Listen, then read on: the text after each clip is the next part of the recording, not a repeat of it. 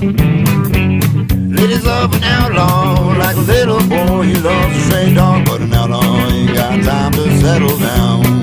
And the buzzard's keeping that desert clean, but the bossy pig won't belong to me. Getting up and I'm moving on out of town.